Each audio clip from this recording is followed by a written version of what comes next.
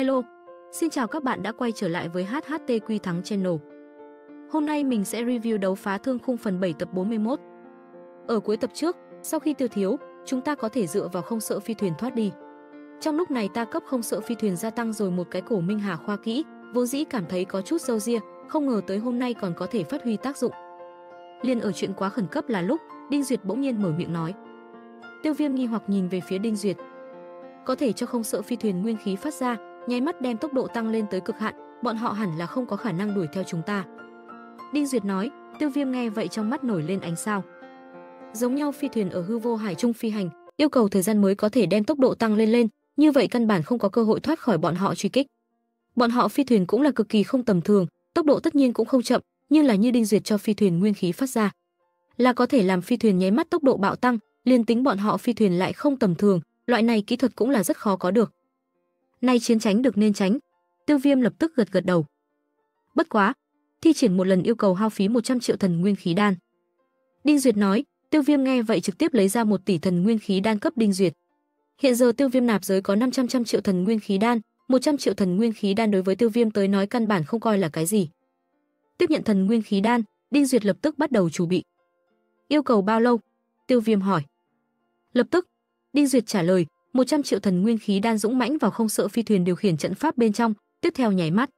Mọi người chỉ cảm thấy chính mình phảng phất nháy mắt bắn bay giống nhau, thân thể ở phía trước phi, linh hồn ở phía sau truy. Đến nỗi tam con thích loại phi thuyền, ngốc ngốc tại chỗ, bọn họ thậm chí đều không có phản ứng lại đây. Không sợ phi thuyền cơ hồ thật giống như hư không tiêu thất ở bọn họ trước mắt giống nhau, lập tức liền có vẻ tam con phi thuyền thực ngốc. Đây là thật nhanh tốc độ. Tam con thích loại phi thuyền truyền đến khiếp sợ tiếng động, tựa hồ bọn họ cũng chưa bao giờ nhìn thấy quá có được nhanh chóng như vậy phi thuyền. Xảo cái gì xảo, an tĩnh. Mọi người ở đây thổn thức rất nhiều, một đạo quát chói tai thanh truyền đến, mọi người lập tức an tĩnh xuống dưới. Bọn họ có vấn đề, tốc độ tuy mau, nhưng ở hư vô hải trung trong thời gian ngắn sẽ lưu lại quỹ đạo. Quan ngươi cùng với chiều ca bọn họ tử vong, nhất định cùng này phi thuyền thượng một chúng có quan hệ. Trung gian phi thuyền thượng, bong tàu trước nhất đoan, có một cái cốt chế vương tọa, ở kia vương tọa phía trên ngồi ngay ngắn một cái hình thể to mọng thân ảnh. Mà ở bên cạnh hắn còn dựa sát vào nhau hai cái dáng người cực kỳ yêu diễm nữ tử, như vậy họa mãn thoạt nhỉ không hợp nhau. Tích loại số 2 tùy ta cùng truy kích, tích loại số 3 đi trước sát phạt thiên duy trì trật tự cụ thể đã xảy ra cái gì. Lập tức hành động, cần phải muốn điều tra rõ, ta đảo muốn nhìn, là ai dám liền lão tử khổng lồ hải huynh đệ đều dám giết. To mọng thân ảnh nổi giận gầm lên một tiếng, hùng hồn thanh âm giống như cuồn cuộn thiên lôi nổ vang giống nhau, tràn ngập kinh sợ. Nhìn kỹ đi, ở này đó thích loại phi thuyền thượng, chỉ có cầm đầu mấy người trong mắt không có trong mắt, còn lại người đều là người theo đuổi, này đó không có trong mắt đúng là đến từ thiên nhân phủ.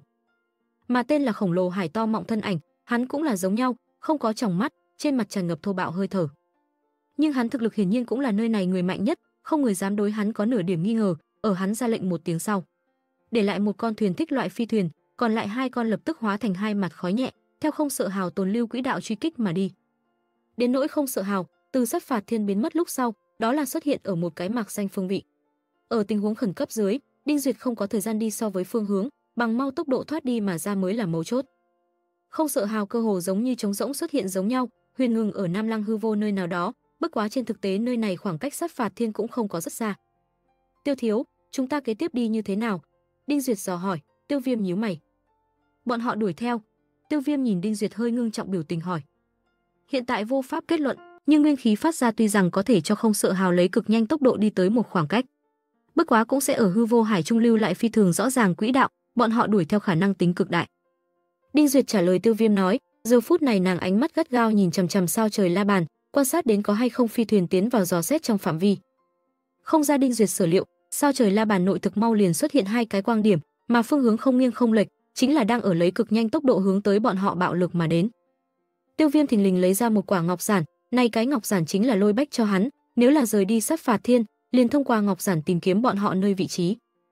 Nguyên khí tham nhập ngọc giản bên trong, tức khắc gian, ngọc giản đó là quang mang tràn ra, ở Tiêu Viêm trong tay xoay tròn một vòng lúc sau, đó là hướng tới một phương hướng chỉ đi. Theo ngọc giản chỉ dẫn phương hướng xuất phát, Tiêu Viêm lập tức nói, Đinh Duyệt lập tức gật gật đầu, không có do dự, sử dụng không sợ hào hướng tới nơi xa chạy đi.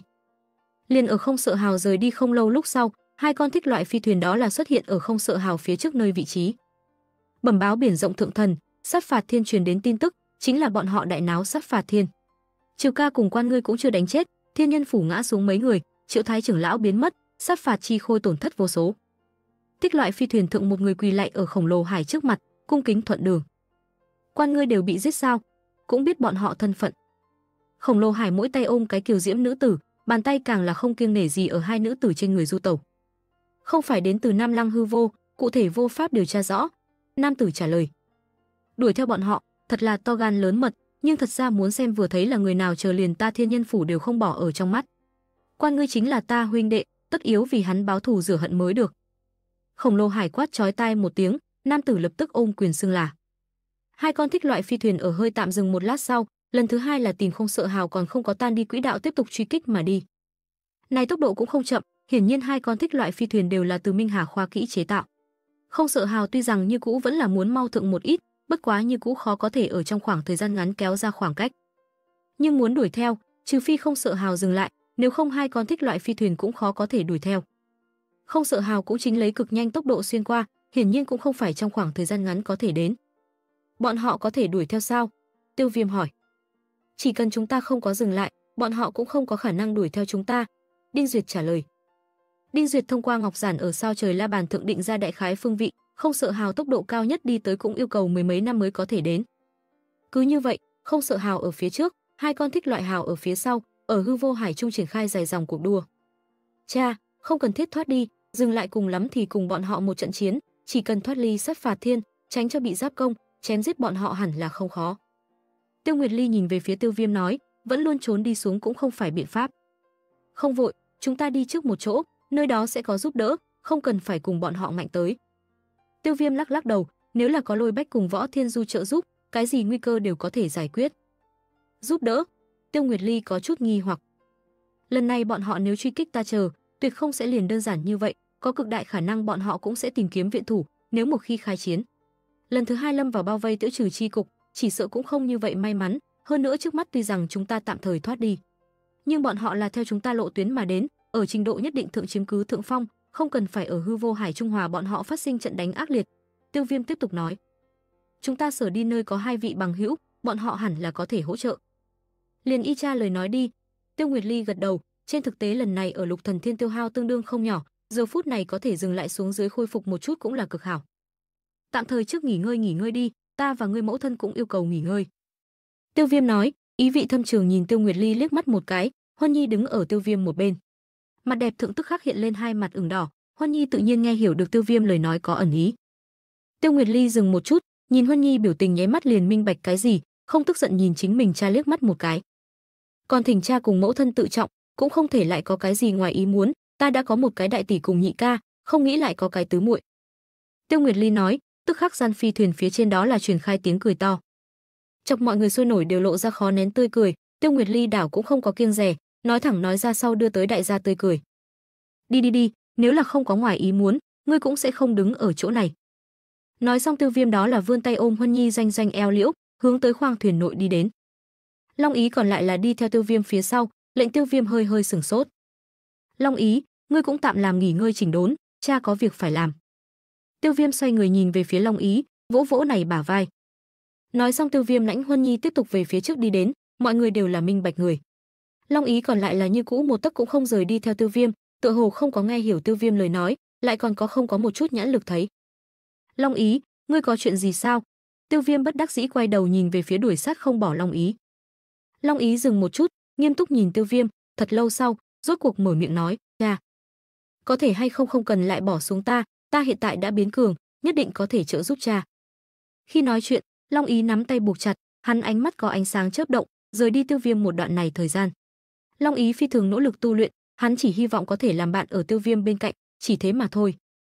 Tuy rằng Long Ý thoạt nhìn ngây ngốc, kỳ thật hắn nội tâm phi thường tinh tế, toàn bộ thế giới đối với hắn tới nói. Ở hắn trong lòng đem Tiêu Viêm đặt ở đệ nhất vị, một cái không người có thể thay thế được vị trí. Tiêu Viêm thân hình khẽ run lên, hốc mắt đỏ lên, tựa hồ chính mình thật sự có chút ích kỷ. Như thế nào có thể quên nhớ cái này toàn thế giới đều chỉ có hắn một cái nhi tử, Tiêu Viêm một tay đem Long Ý ôm vào trong lòng ngực, cho một cái thật mạnh ôm. "Xin lỗi." Long Ý. Tiêu Viêm trong lòng cảm xúc, Tiêu Viêm bổn ý là muốn bảo hộ Long Ý. Làm Long Ý đi theo Tiêu Nguyệt Ly cùng Vượng Tài cùng tu luyện, như vậy đã có thể bảo đảm an toàn, cũng có thể càng mau tăng lên thực lực. Nhưng đối với Long Ý tới nói, bực này với Tiêu Viêm đem hắn vứt bỏ, hơn nữa cầu cầu rời đi. càng làm cho Long Ý nội tâm đã chịu đả kích thật lớn, Tiêu Viêm xem nhẹ điểm này, giờ phút này thật cảm thấy hổ thẹn. Một cái thật mạnh ôm lúc sau, Tiêu Viêm nghiêm túc nhìn về phía Long Ý, trầm giọng nói, cha sẽ không ở một mình lưu lại ngươi. Thật, vậy chăng? Long Ý ánh mắt lộ ra vô cùng hưng phấn, này vừa hỏi làm Tiêu Viêm lần thứ hai có chút động dung, này từ biệt hoàn toàn xúc phạm tới Long Ý nho nhỏ tâm linh. Đương nhiên, hơn nữa cầu cầu cũng nhất định sẽ trở về. Tiêu Viêm cười gật gật đầu. Cha có nàng tin tức sao? Long Ý truy vấn nói, trừ bỏ Tiêu Viêm ở ngoài, Long Ý nhất quan tâm không gì hơn cầu cầu. Ta đã thấy nàng, bất quá ngươi lại lần nữa nhìn thấy nàng thời điểm hẳn là sẽ thực khiếp sợ. Tiêu Viêm nói. Khiếp sợ? Cầu cầu làm sao vậy? Long Ý mắt lộ ra lo lắng hỏi. Không có việc gì, nàng thực hảo, nhưng đã không còn là trước đây cái kia tiểu tham ăn cầu cầu, đã trưởng thành đại mỹ nữ. Tiêu Viêm cười nói. Mỹ nữ? Long Ý trên thực tế đối cái này từ hắn lý giải không bao nhiêu, đối với Long Ý tới nói, mỹ mạo ở trong mắt hắn căn bản không có giới định. Hắn càng nhiều nhìn đến chính là mỗi người bản chất, đối với cầu cầu càng là đến từ sâu trong nội tâm quan tâm. Thôi thôi, ngươi còn không hiểu, về sau ngươi liền đã hiểu, hảo cha muốn đi tu luyện, ngươi liền ở bong tàu thượng, đinh duyệt hạ tăng huy, lãnh long ý nhận thức nhận thức đại gia, ta rất bận. Tiêu Viêm vẫy vẫy tay nói, đinh duyệt cùng hạ tăng huy sớm đã đứng ở long ý bên cạnh, lại lần nữa nhìn thấy long ý, hai người đều là thập phần cảm khái. Nhìn nhau chi gian, đều là thật mạnh vỗ vỗ long ý dày nặng không ít bả vai. Đinh Duyệt càng là lấy ra sớm đã vì Long Ý chế tác minh hà vũ khí, cùng với dựa theo Long Ý trước kia thể trạng chế tác nội giáp. Chuôi này bàn long phá Lang thương là ta vì ngươi tân chế tạo, ngươi nhìn xem sấn không tiện tay. Còn có này tu di hộ tâm giáp, có thể tùy ngươi hình thể mà làm ra thay đổi, ngươi nhìn xem hợp không hợp thân. Đinh Duyệt nói đem trường thương cùng hộ tâm giáp giao cho Long Ý trong tay. Tiểu tử, đã lâu không thấy ngươi biến soái, tuy rằng so với ta còn hơi kém hơn một chút, bất quá chỉ là khí chất thượng, điểm này còn có thể tiến bộ bất quá trở về liền hảo. Hạ Tăng Huy thật mạnh vỗ vỗ Long Ý bả vai. Long Ý nhìn quen thuộc khuôn mặt, lại nhìn nhìn trong tay Đinh Duyệt vì hắn lượng thân đính làm vũ khí cùng hộ giáp, Long Ý cúi đầu run nhẹ nhẹ. Ha ha, tiểu tử này cảm động khóc sao? Hạ Tăng Huy cười nhạo nói. Tiếp theo nháy mắt, Long Ý ngẩng đầu lên tới, khuôn mặt phía trên lộ ra vô cùng sán lạn tươi cười, phảng phất hết thảy đều đã trở lại giống nhau, nhìn Long Ý tươi cười, Tiêu Nguyệt Ly đều là nao nao. Ta còn tưởng rằng này ngốc long trước nay đều sẽ không cười đâu. Nguyên lai like hắn có thể cười như vậy vui vẻ. Tiêu Nguyệt Ly lẩm bẩm nói, nói xong mặt đẹp thượng khóe miệng hơi hơi dơ lên, tựa hồ cũng bị Long Ý cảm xúc sợ ảnh hưởng, tâm tình cũng cảm thấy nhảy nhót không ít. Trầm trọng không khí lập tức đã bị đánh vỡ, Hạ Tăng Huy lôi kéo Long Ý bla bla nói thượng rất nhiều, Đinh Duyệt một cái tát đánh vào Hạ Tăng Huy cái ót thượng. Không cần dạy hư tiểu hài tử. Hạ Tăng Huy không tức giận phít phít Đinh Duyệt, lại tiến đến Long Ý bên tai nhỏ giọng nói, Tiêu thiếu đi đều nói tốt. Nói xong, Đinh Duyệt chính là đuổi theo Hạ Tăng Huy một đốn bạo lật, toàn bộ không sợ phi thuyền truyền đến từng đợt kêu thảm thiết tiếng động. Long Ý nhìn vui đùa ầm ĩ hai người, tươi cười vào giờ phút này trở nên càng thêm sán lạn, phảng phất. Hết thảy đều đã trở lại, nước mắt ở Long Ý hốc mắt đảo quanh, ảnh ngược ở Long Ý hốc mắt, phảng phất này đứng vô ý chiến đội sở hữu đoàn người, bọn họ đều giống như đã trở lại giống nhau. Không sợ hào ở phía trước bay nhanh, không nghĩ tới, mặt sau hai con thích loại phi thuyền đã triển khai tốc độ cao nhất truy kích. Chỉ có tốc độ cao nhất dưới tình huống mới không không có bị không sợ hào ném rớt. Biển rộng thượng thần, Chúng ta đã là triển khai tốc độ cao nhất, nhưng ở tốc độ thượng như cũ là có chút cố hết sức. Chỉ có thể miễn cưỡng truy kích, bọn họ nếu không ngừng hạ liền không có đuổi theo khả năng. Tích loại phi thuyền thượng, nam tử uốn gối quỳ xuống đất, cung kính nói: "Cũng biết bọn họ đây là sở đi nơi nào?" Khổng lồ Hải trầm hậu thanh âm hỏi. Điểm này, vô pháp minh xác biết được, nhưng theo cái này phương hướng, khoảng cách gần nhất chính là tinh tịch đại giới. Nam tử trả lời. Tinh tịch đại giới, bọn họ muốn đi tinh tịch đại giới. Khổng lồ hải có chút kinh ngạc, bởi vì tinh tịch đại giới ở Nam Lăng hư vô bên trong tuyệt đối coi như một cái cùng hung nơi.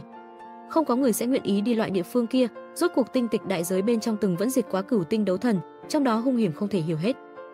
Vô pháp xác định, chỉ có thể thông qua bọn họ đi trước đại khái phương hướng đi suy đoán mà thôi. Nam tử lắc lắc đầu, khổng lồ hải nhãn trung lộ ra phức tạp chi sắc. Huyết thất lập tức thông chi gần nhất linh quỷ đối bọn họ tiến hành chặn lại. Khổng lồ hải lập tức trầm giọng nói: khổng lồ hải bên cạnh xuất hiện một cái người mặc màu đỏ liền váy nữ tử, dáng người phập phồng quyến rũ. Eo tuyến cực kỳ mê người, nhưng nàng đôi mắt bên trong cũng không có tròng mắt, vừa thấy liền biết là thiên nhân phủ người. Từ lộ tuyến đi lên xem, gần nhất linh quỷ đảo đích xác có một cái. Vương Kinh, tên là huyết thất thiên nhân phủ nữ tử Hoãn Thanh nói. Có không chặn lại? Khổng lồ hải tiếp tục hỏi. Chính là có thể, bất quá Vương Kinh thực lực hơi yếu một ít, thực lực của hắn cùng quan ngươi thực lực tương đương, quan ngươi đều bị đánh chết, Vương Kinh chưa chắc có thể ngăn được, huyết thất chậm rãi nói.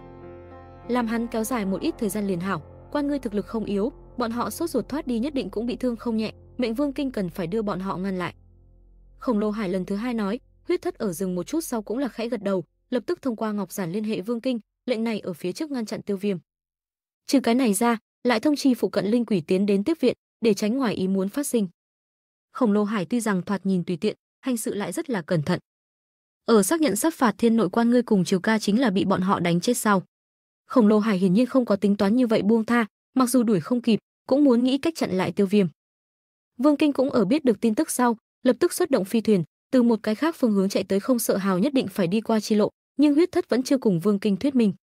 Tiêu Viêm bọn họ chính là đánh chết quan ngươi cùng Triều Ca cường giả, chỉ là nói cho Vương Kinh, không tiếc hết thảy thủ đoạn đánh chết tội nhân, sự thành nhưng hoạch công một lần. Bởi vậy Vương Kinh càng là không có dẫn dắt bao nhiêu người, bởi vì Vương Kinh cũng không rõ ràng chính mình đem đối mặt cái dạng gì địch nhân. Tích loại phi thuyền cũng là dần dần từ hai con biến thành bốn con, tiếp viện cũng lần lượt đuổi tới, chừng hơn 10 người thiên nhân phủ cường giả tới rồi. Dám đắc tội thiên nhân phủ người, thiên nhân phủ đối đãi phương thức chính là như thế, đuổi tận giết tuyệt. Nguyên nhân chính là vì thiên nhân phủ như vậy hành sự, ở Nam Lăng hư vô bên trong, là một cái ngay chi biến sắc cường đại thế lực, đều là đối này kính nhi viễn trì Ngày thường chuyện như vậy thường xuyên phát sinh, chẳng qua bọn họ cũng không biết được, lúc này đây gặp được địch nhân có lẽ cùng bình thường hoàn toàn bất đồng.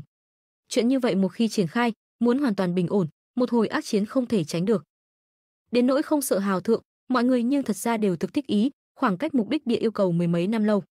Đều rất có thời gian đi thả lỏng tâm tình, chỉ có ở ngay lúc này, tựa hồ mới có thể đạt được một lát an bình. Không sợ hào rất lớn, mỗi người đều có thể có chính mình độc lập khoang thuyền, thả bên trong trang trí tương đương xa hoa. Ngay cả giường đều là dùng ấm quang ngủ phô thành, mới có thể làm nghỉ ngơi là lúc lệnh người càng thêm thoải mái một ít. Tiêu Viêm tương ứng khoang thuyền nội, hắn đã dùng linh hồn của chính mình chi lực đem khoang thuyền phong bế, tiến vào khoang thuyền sau. Tiêu Viêm cánh tay dò ra, có chút mạnh mẽ đem Huân Nhi ôm nhập chính mình trong lòng ngực, nóng bỏng môi rừng ở Huân Nhi cái miệng nhỏ phía trên. Trong nháy mắt lệnh Huân Nhi đột nhiên không kịp phòng ngừa, bản năng dễ dụ hai hạ sau, Huân Nhi hoàn toàn luân hãm ở Tiêu Viêm ôn nhu hương. Tiêu Viêm ca ca, chờ một chút. Hoan Nhi nỗ lực tách ra, khuôn mặt nhỏ đã là ửng đỏ, thẹn thùng bộ dáng nhu nhược đáng yêu. Hoan Nhi, làm sao vậy? Tiêu Viêm nhìn Hoan Nhi, ngăn lại nàng mềm mại eo liễu, cực đoan tinh tế xúc cảm lệnh người mê muội. Thời gian còn rất nhiều, Hoan Nhi tưởng cùng ngươi nhiều lời nói chuyện. Hoan Nhi thấp giọng lẩm bẩm nói, nàng thật sự đã lâu lắm không có nhìn thấy Tiêu Viêm, trong lòng càng là tưởng niệm thành tật, có rất nhiều lời nói tưởng cùng Tiêu Viêm kể ra.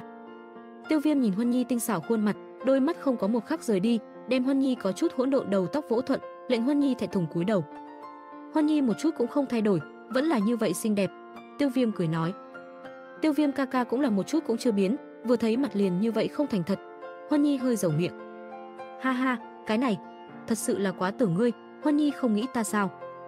Huân Nhi dừng một chút lúc sau, cũng là xinh xắn gật gật đầu, nhìn Huân Nhi bộ dáng, Tiêu Viêm thật sự áp không được trong lòng ngọn lửa, chặn ngang đem Huân Nhi bế lên.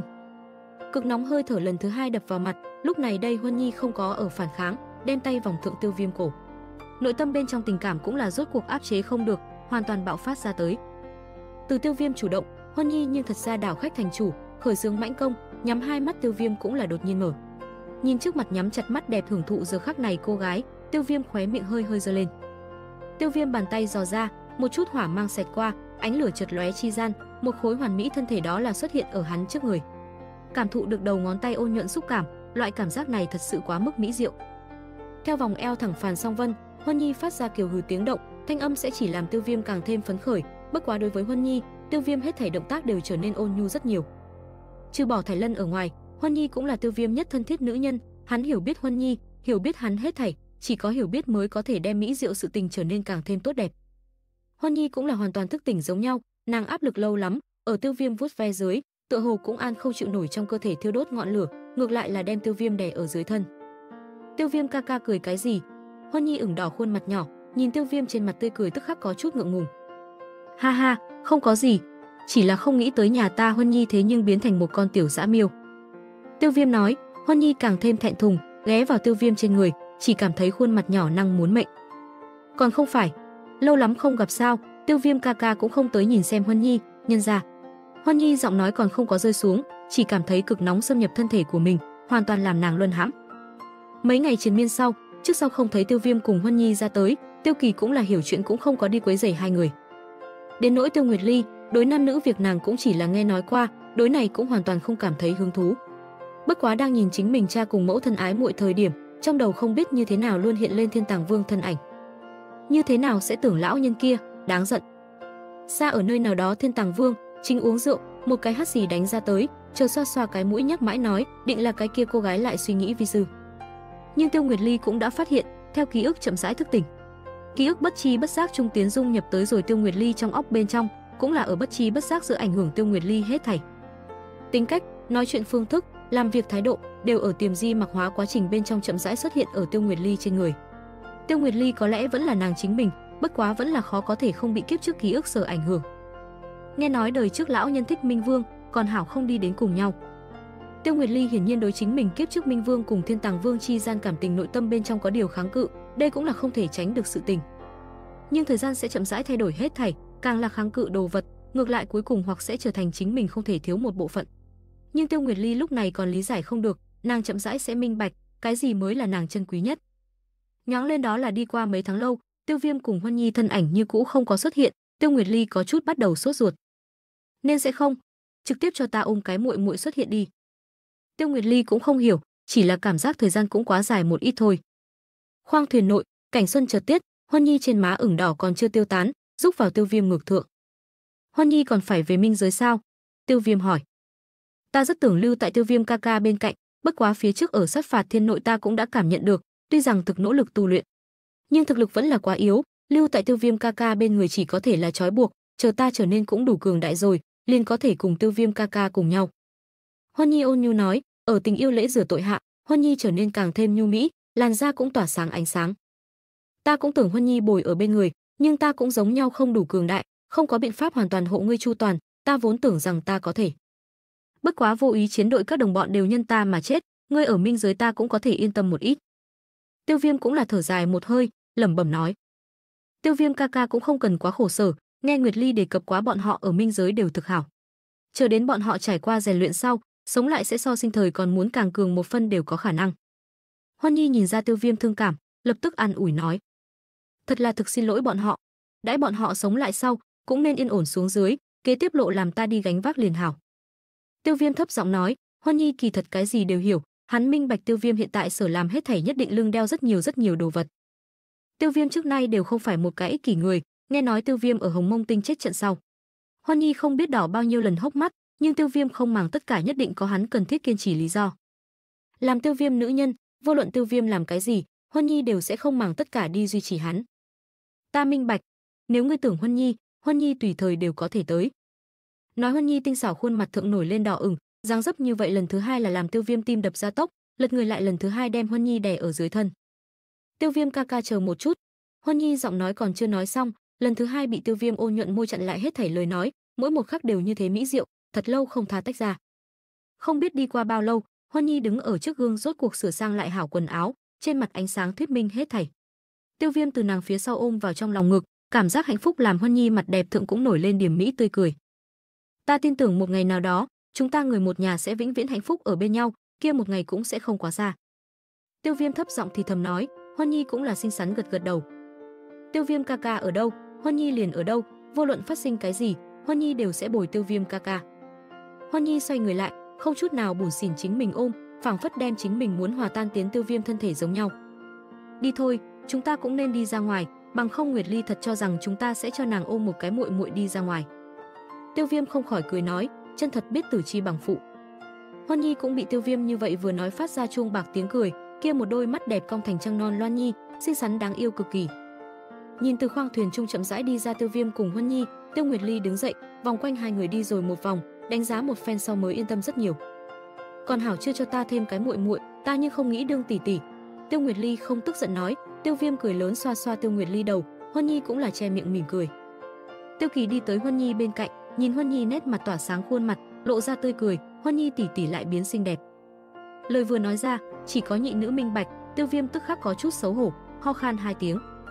Sấn còn có một ít thời gian, ta còn muốn bế quan tu luyện, nếu xuất hiện chuyện gì lập tức cho ta biết. Loại này thời điểm Tiêu Viêm liền lập tức thoát đi hiện trường, lưu lại nhị nữ ở nơi đó che miệng cười trộm. Cuối cùng Tiêu Viêm còn thu hoạch một ít nguyên tinh, nếu là đem này đó nguyên tinh hấp thu, có lẽ có hy vọng có thể đột phá đến lục tinh đấu thần hậu kỳ, 900 vạn nguyên khí nội tình có hy vọng đột phá đến cái thứ nhất ngàn vạn. Trở lại khoang thuyền nội, Tiêu Viêm chuyện thứ nhất vẫn chưa lấy ra nguyên tinh tiến hành tu luyện, mà là tiến vào tới rồi từ thần hư linh tháp giữa, theo thực lực của chính mình tăng lên, nhìn xem có thể hay không tìm được càng cường một ít đầu kỹ. Tiêu Viêm trực tiếp đi tới công pháp tầng, tràn đầy lưu quang công pháp tầng không hiểu được ẩn chứa nhiều ít đấu kỹ, ngẩng đầu nhìn nếu như đầy trời sao băng công pháp tầng, Tiêu Viêm cũng là không khỏi cảm khái. Có này công pháp tầng ở, Tiêu Viêm căn bản không cần lo lắng cho mình đấu kỹ sẽ xuất hiện cùng tự thân thực lực vô pháp xứng đôi tình huống. Hiện giờ Tiêu Viêm mạnh nhất đấu kỹ đó là giới giai thượng phẩm, nhưng mà theo thực lực tăng lên, lại có thập tuyệt yêu viêm thêm vào hạ, Tiêu Viêm nguyên khí nội tình có thể đột phá đến 6000 vạn. Như thế bằng bạc nguyên khí nội tình, Tiêu Viêm trong tay đấu kỹ đó là có chút trứng trọi đá, ít nhất còn muốn đạt được hai cái giới giai thượng phẩm đấu kỹ. Đương nhiên, nếu là có thể đạt được chuẩn tạo hóa giai đấu kỹ, đảo cũng có thể nếm thử có không tu luyện. Nhìn từng đạo bay nhanh xẹt qua lưu quang, Tiêu Viêm không có sốt ruột, hắn chờ đợi, tổng hội có một đạo lưu quang sẽ thả chậm tốc độ, kia thả chậm lưu quang liền nhất định là Tiêu Viêm muốn tìm đấu kỹ. Giơ ra bàn tay, một sợi lưu quang dừng ở lòng bàn tay, hỏa hồng sắc quyển trục lóng lánh mấy cái chữ to. Tạo hóa giai vạn hỏa thần vực. Tiêu Viêm cả kinh, không nghĩ tới thế nhưng được đến so giới giai càng cao một cấp bậc tạo hóa giai, tạo hóa giai cùng giới giai giống nhau, cũng phân thượng trung hạ tam đẳng. Như này vạn hỏa thần vực lại tựa hồ không có đặc biệt đi ghi rõ trình tự, này liên thuyết minh này đấu kỹ hạn mức cao nhất sẽ phi thường cao, đem quyết định bởi với thi triển giả thực lực. Cái này đấu kỹ hoàn toàn vượt qua Tiêu Viêm ngoài ý liệu, lấy chính mình hiện tại thực lực đến tục cùng có thể hay không thi triển ra đều còn vẫn là một vấn đề. Bởi vậy Tiêu Viêm không có tiếp tục lòng tham lưu tại công pháp tầng, mà là lấy này tạo hóa giai đấu kỹ đi trước thật chiến môn. Ngồi xếp bằng xuống dưới, Tiêu Viêm linh hồn chi lực dũng mãnh và đấu kỹ bên trong, bằng bạc tin tức dũng mãnh vào trong đầu. Sau một lúc lâu lúc sau, Tiêu Viêm mới từ từ mở hai mắt tới, trong mắt phát ra xuất tinh mang. Bởi vì này tạo hóa giai đấu kỹ lần thứ hai làm Tiêu Viêm cảm thấy khiếp sợ, so với phía trước đấu kỹ, này cuốn Vạn Hỏa Thần Vực còn lại là hoàn toàn bất đồng. Vạn Hỏa Thần Vực, triển khai ngọn lửa lĩnh vực, lấy ngọn lửa thêm vào mình thân, ở thần vực trong vòng đồng đội đều là có thể tạm thời đạt được ngọn lửa tăng phúc, bất quá đối nguyên khí tiêu hao lại là cực đại. Tiêu Viêm lẩm bẩm, cái này đấu kỹ áp dụng phạm vi càng quảng một ít, đặc biệt là ở quần thể trong chiến đấu sẽ phát huy cực đại tác dụng. Tiêu Viêm chưa từng có nhiều suy tư, mà là trực tiếp tiến vào tới rồi thật chiến môn chung, tự mình nếm thử thi triển này đấu kỹ mới có thể minh bạch trong đó áo nghĩa. Thật chiến môn chung, Tiêu Viêm trước mặt là hắn hư ảo phân thân, đây là thật chiến môn thấp nhất trình tự bạch môn, sửa lại dùng cho thử xem tay. Một sợi bất diệt chi hỏa ngưng tụ thành hỏa liên huyền phù ở Tiêu Viêm lòng bàn tay bên trong. Rồi sau đó Tiêu Viêm một cái tay khác ở ngọn lửa bên trong lấy nguyên khí vì dẫn, một đám ấn ký huyền phù ở hỏa liên phía trên, rồi sau đó giơ tay, hỏa liên lực ra. Đó là ở giữa không trung bắt đầu xoay tròn, hỏa liên xoay tròn tốc độ càng lúc càng nhanh, Tiêu Viêm dũng mãnh và nguyên khí cũng càng ngày càng nhiều. Đương nhiên, thật chiến môn trung nguyên khí đều chỉ là hư cấu ra tới, bất quá lại là Tiêu Viêm chân thật nguyên khí nội tình. Cũng coi như thượng thập tuyệt yêu viêm thêm vào, 6000 vạn nguyên khí nội tình trong khoảnh khắc đó là tiêu hao rất một nửa nhiều. Hỏa liên nổ tung, nhưng đều không phải là nổ mạnh, mà là tản ra giống nhau, đem quanh mình mấy trăm dặm đều bao phủ ở trong đó. Xa xa nhìn lại màu đen ngọn lửa giống như một cái cái chắn đem quanh mình đều bao phủ ở trong đó. Tiêu Viêm lập tức phát hiện, chỉ cần bị bất diệt chi lồng sưởi cháo vào vạn hỏa thần vực giữa hết thảy sinh linh. Chỉ cần Tiêu Viêm tâm niệm vừa động, là có thể rút ra này sinh cơ, đây là bất diệt chi hỏa tác dụng. Có thể thêm vào ở chính mình đồng bọn trên người, như vậy chẳng phải là ở thời gian dài tiêu hao chiến bên trong, cái này đấu kỹ đem phát huy lớn lao tác dụng. Tiêu Viêm lập tức cảm thấy khiếp sợ, có được ngọn lửa là vừa nói, nhưng là có thể đem ngọn lửa vận dụng ở các đồng bọn trên người. Nếu là không có như thế huyền diệu ấn ký là quả quyết vô pháp làm được. Nếu là dựa theo như thế quy tắc, bất diệt chi hỏa hình thành vạn hỏa thần vực để khôi phục là chủ, Bạch Diễm cùng thập tuyệt yêu viêm lại hay không có thể như thế đâu. Bạch Diễm lập tức ở Tiêu Viêm lòng bàn tay huyền phù dựng lên, ngưng tụ thành một đóa hỏa liên, liên tục họa ra ấn ký, huyền phù ở hỏa liên phía trên. Rồi sau đó lực hướng giữa không trung, bạch diễm cũng là bao phủ quanh mình mấy trăm dặm, bất quá bạch diễm vô pháp làm được giống rượu băng giống nhau, hoặc là cũng vô pháp làm được bạch diễm lĩnh vực giống nhau, quanh mình hóa thành ban ngày giống nhau, trước tiên sẽ lâm vào ngắn ngủi khống chế, nhưng cũng sẽ theo thời gian trôi qua mất đi này hiệu dụng. Lấy bạch diễm thi triển vạn hỏa lĩnh vực nói, vô pháp làm được thời gian dài khống chế, có thể làm được chỉ là cực lớn phạm vi, giống như thu nhỏ lại bạch diễm chi tức. Bất quá như vậy đại phạm vi, ở nào đó dưới tình huống cũng có thể đủ khởi đến phi thường mấu chốt tác dụng. Ở cuối cùng chính là thập tuyệt yêu viêm, tiêu viêm theo thứ tự đối chính mình có được ba cái hỏa diễm chi tâm tiến hành đấu kỹ dung hợp. Căn cứ mỗi cái hỏa diễm chi tâm năng lực bất đồng, thi triển ra tới vạn hỏa lĩnh vực cũng là bất đồng. Thập tuyệt yêu viêm màu đỏ tím ngọn lửa bao phủ mà xuống, trước hai người ở chiến đấu thượng nhiều vì phụ trợ tác dụng. Nhưng thập tuyệt yêu viêm còn lại là hoàn toàn bất đồng, bởi vì thập tuyệt yêu viêm năng lực chính là cung cấp chiến đấu sở cần nguyên khí nội tình. Chỉ cần tiêu viêm tâm niệm vừa động, liền có thể vì thập tuyệt yêu viêm hạ vạn hỏa lĩnh vực bên trong đồng bọn cung cấp nguyên khí thêm vào, chẳng qua sẽ tiêu hao đại lượng thần nguyên khí đan. Bất quá đối với hiện tại tiêu viêm tới nói, thần nguyên khí đan thật đúng là không tính cái gì chân quý đồ vật. So với trước hai cái hỏa diễm chi tâm năng lực, thập tuyệt yêu viêm có lẽ ở thực tế trong chiến đấu tác dụng sẽ càng thêm lộ rõ một ít. Chỉ cần thần nguyên khí đan cũng đủ dưới tình huống, vạn hỏa thần vực thập tuyệt yêu viêm có thể làm các đồng bọn thực lực tiến thêm một bước tăng lên. Như vậy không thể nghi ngờ là có thể đề cao toàn bộ đoàn đội chỉnh thể thực lực. Như thế đấu kỹ, đảo cũng đích xác xứng thượng tạo hóa giai cái này cấp bậc, thế nhưng có thể đủ làm hỏa diễm chi tâm lực lượng trở lên một tầng lâu, không thể tưởng tượng. Nếm thử xong sau, Tiêu Viêm cũng là không cấm cảm thán nói: "Này loại đấu kỹ có thể nói là trận pháp, nhưng lại bất đồng với trận pháp, bởi vậy Tiêu Viêm thực mau liền đem này nắm giữ với tâm." Nhưng Tiêu Viêm như cũ ở thật chiến môn trung dừng lại một ít thời gian, đối vạn hỏa thần vực càng sâu trình tự đi lĩnh ngộ, sau một lúc lâu Tiêu Viêm mới thật chiến môn trung ra tới. Đương Tiêu Viêm ra tới thời điểm, hồi lâu không thấy Trạm lão còn lại là lần thứ hai xuất hiện, ở không cần phải dưới tình huống. Trạm lão xuất hiện số lần cũng càng ngày càng ít, bởi vì Tiêu Viêm đã đại để không cần Trạm lão trợ giúp. Dần dần thoát ly, cũng thuyết minh Tiêu Viêm tiến thêm một bước trưởng thành. Trạm lão, Tiêu Viêm hơi hơi ôm quyền chắp tay, rốt cuộc có thể có hôm nay, không rời đi Trạm lão cùng Tử Thần Hư Linh Tháp trợ giúp. Tiểu tử không ngại đi trước đệ thập nhất tầng coi một chút. Trạm lão nói, Tiêu Viêm hơi hơi sừng sốt, đệ thập tầng là thế giới chi thụ, đến nỗi đệ thập nhất tầng Tiêu Viêm đảo đích xác không có suy nghĩ quá. Rốt cuộc cảm giác đệ thập tầng cũng đã là Tiêu Viêm hiện tại thực lực vô pháp chạm đến cường đại thế lực. Đệ thập nhất tầng, Tiêu Viêm kinh nghi, nếu chạm lão mở miệng, tất nhiên liền có đi một chuyến tất yếu. Chạm lão khẽ gật đầu, Tiêu Viêm thực mau tới tới rồi đệ thập tầng, thoạt nhìn vô cùng chấn động thế giới chi thụ. Tiêu Viêm ánh mắt hơi ngưng, có thể thông qua thế giới chi thụ đi trước các thế giới khác, đối này Tiêu Viêm cũng là cảm thấy tò mò. Nhưng thần hy thế giới nguy cơ sắp tới, đi trước các thế giới khác kia đều là lời phía sau, thông qua hướng về phía trước thang lầu, Tiêu Viêm đi tới đệ thập nhất tầng. Mỗi một lần tiến vào đến từ thần hư linh tháp càng cao một tầng, tóm lại cấp Tiêu Viêm mang đến vô cùng chấn động. Lúc này đây hiển nhiên cũng không chút nào ngoại lệ, đệ thập nhất tầng không gian cũng không tính đại, tổng cộng có 9 cụ trong suốt quan tài huyền phủ trong đó. Thoạt nhìn giống tựa dùng nào đó thủy tinh chế thành, ở này đó quan tài trên có khắc họa huyền diệu hoa văn. Tiêu Viêm đảo qua 9 cụ phù không quan tài, thực mau ánh mắt đó là một ngưng, tuy rằng có 9 cỗ quan tài, nhưng có 8 là trống không, chỉ có một cái quan tài trong đó tồn tại một đạo thân ảnh. Làm nửa ngày, Nguyên Thần phân thân là Tử Thần Hư Linh Tháp cho ta tịch thu. Tiêu Viêm cảm thấy vô cùng khiếp sợ, nhìn quan tài trung lẳng lặng nằm Nguyên Thần phân thân, mặc dù khoảng cách như thế chi gần Tiêu Viêm như cũ cảm thụ không đến Nguyên Thần phân thân cùng hắn liên hệ. Tự nhiên có này nguyên nhân nơi, hiện tại ngươi đã gặp gỡ Thiên Nhân phủ, liền không ngại nói cho ngươi, toàn bộ thần hy thế giới bất hủ. Trừ bỏ Thiên Nhân phủ dưới trướng ở ngoài, đều là bị nghiêm trọng chèn ép, ngươi Nguyên Thần phân thân thân thể đã đạt bất hủ chi cảnh. Nguyên Thần phân thân đích xác có thể cho ngươi mang đến rất nhiều trợ giúp, nhưng trừ bỏ trợ giúp ở ngoài, hắn càng nhiều sẽ cho ngươi đưa tới ngươi hiện tại căn bản vô pháp thừa nhận phiền toái. Ở Tiêu Viêm khiếp sợ rất nhiều, Trạm lão chậm rãi nói: "Thiên nhân phủ, chèn ép thần hy bất hủ, đến tột cùng là một cái cái dạng gì thực lực, có thể có được chèn ép bất hủ lực lượng?" Tiêu Viêm nghe vậy sau, trong mắt tràn ngập kinh nghi, khó có thể tin Trạm lão lời nói. Thiên nhân phủ đại bộ phận là từ thần hy người tạo thành, nhưng là ở thiên nhân phủ phía sau, lại có một chi giới ngoại thế lực xâm lấn, nay cổ xâm lấn sớm tại tôn thượng cùng tà tôn chưa từng ngã xuống khi cũng đã phát sinh. Chẳng qua tà tôn hành sự đại ý, không thể đem này nhổ cỏ tận gốc, dẫn tới hiện tại thành thần hy thế giới một đại họa đoan. Trạm lão đối với viễn cổ thời đại hiểu biết vẫn là rất nhiều, tiếp tục cấp Tiêu Viêm giải thích nói: "Ý của ngươi là, thiên nhân phủ trên thực tế đã bị các thế giới khác sở khống chế?" Tiêu Viêm hỏi, thình linh xảy ra tin tức làm Tiêu Viêm có chút đột nhiên không kịp phòng ngừa. Đúng là như thế, nhưng bởi vì thần hy bản thân như cũ rất cường đại, bọn họ một chốc một lát không có biện pháp xâm lấn. Chỉ có thể thông qua như vậy phương thức đi khống chế thần hy lực lượng, dục muốn từ nội bộ bắt đầu tan rã thần hy, cũng may là chịu quy tắc chi lực, thần hy kiên trì đến nay. Bất quá ngươi hẳn là cũng biết được, đối với thần hy xâm lấn sẽ lần thứ hai tiến đến, hiện giờ thần hy đem lâm vào tồn vong chi nguy. Trạm lão kể ra nói, Trạm lão cũng là lần đầu tiên cho Tiêu Viêm như thế nghiêm túc thuyết minh, báo cho Tiêu Viêm rất nhiều thần hy tình huống hiện tại. Ý tứ, thần hy đã không có cơ hội. Tiêu Viêm hơi trầm mặc sau, sắc mặt ngưng trọng nói: "Đảo cũng đều không phải là như thế, tuy rằng Thiên Nhân phủ có điều áp chế, bất quá thần hy thế giới cũng không có dễ dàng như vậy tan rã. Bất hủ tuy bị áp chế, nhưng có một cổ lực lượng có thể cho thần hy xoay người."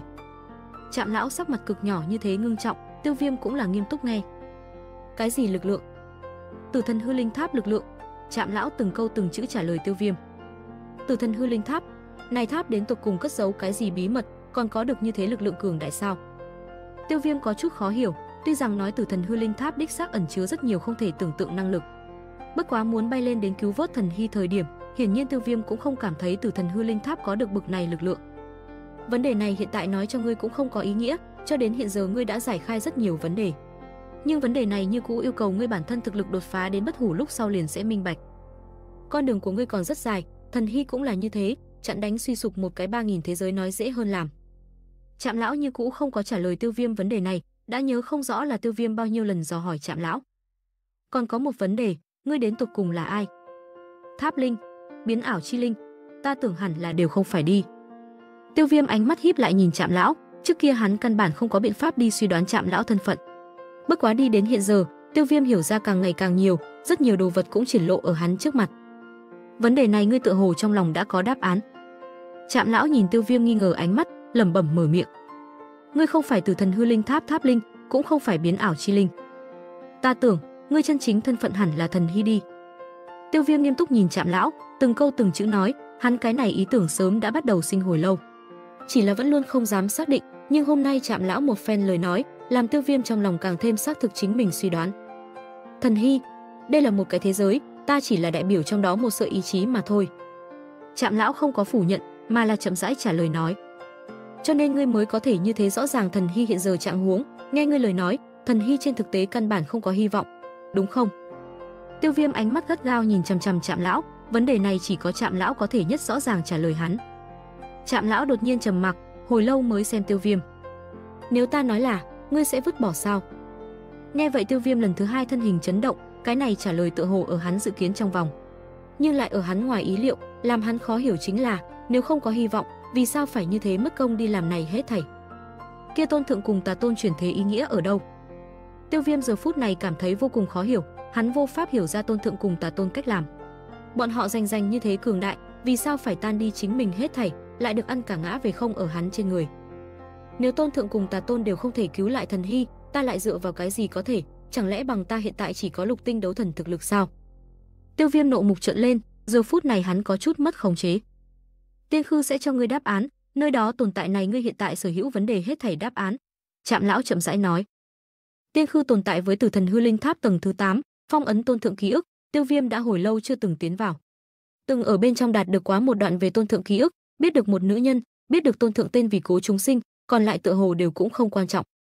Tiên Khư bên trong tồn tại tôn thượng rất nhiều ký ức mảnh nhỏ, đến đây đi, này một phần ký ức ta đơn độc cho ngươi lấy ra tới.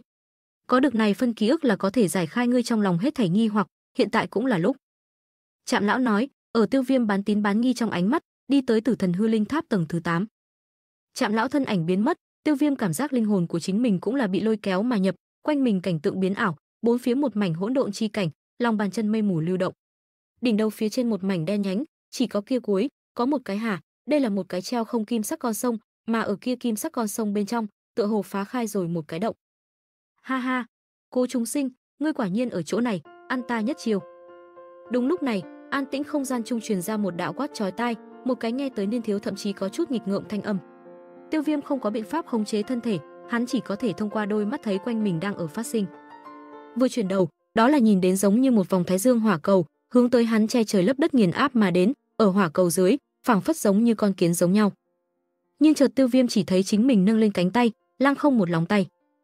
Toàn bộ giống như thái dương giống nhau, thể tích thậm chí là số lấy vạn trượng tới tính toán hỏa cầu, trực tiếp tạc nứt.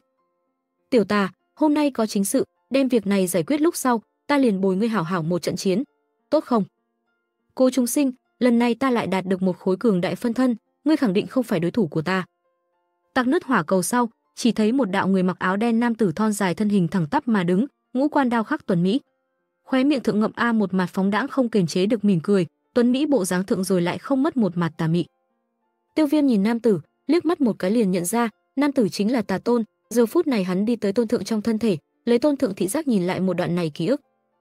Tà Tôn rơi xuống tôn thượng bên cạnh, cùng tôn thượng cùng vai song hành, căn bản nhìn không ra cùng tôn thượng là đối địch quan hệ. Đương nhiên, bọn họ cũng chưa bao giờ là đối địch quan hệ, hai cái thực lực đứng ở thế giới đỉnh nam nhân, nào lại có cái gì thâm cừu đại hận. Tiểu Tà, hai chúng ta tính bằng hữu sao? Cô chúng sinh mở miệng hỏi, Tà Tôn hơi hơi sửng sốt lăng, có chút không biết nguyên cớ. Thiếu cùng ta lôi kéo làm quen, chờ ngươi đem chuyện này xong xuôi, ngươi cũng không thể chạy, đáp ứng cùng ta hảo hảo một trận chiến. Tà Tôn lập tức không tức giận nói. Rất nhàm chán. Cô chúng sinh cũng dám coi rẻ ta, dám nói ta nhàm chán, hiện tại liền cùng ta một trận chiến, lần này ta nhất định phải đem ngươi đánh tới quỳ xuống đất xin tha. Tà Tôn khí thế bùng nổ, làm bộ liền phải cùng cố chúng sinh quyết một thắng bại. Đừng có gấp, chúng ta hiện tại có cộng đồng địch nhân. Cô chúng sinh lẩm bẩm nói, theo ánh mắt xem qua đi, chỉ thấy kia sông dài phá vỡ đại động bên trong, vô số thân ảnh giống như châu chấu giống nhau từ trong đó chen trúc mà ra. Cô chúng sinh nói xong đó là không có có lý sẽ tà tôn, thân hình hóa thành một sợi cầu vồng, hướng tới phía trước rậm rạp thân ảnh lao đi. Oanh thần cánh tay. Cô chúng sinh một quyền oanh ra, nắm tay phía trên một cổ làm tiêu viêm vô pháp lý giải lực lượng chút xuống mà ra.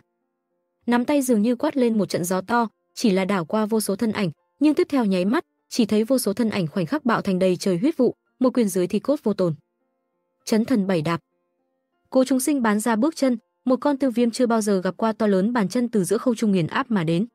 Không hề ngoài ý muốn, này vô số dũng mãnh vào thân ảnh giống như con kiến giống nhau, cố chúng sinh dễ dàng là có thể đưa bọn họ mặt diệt.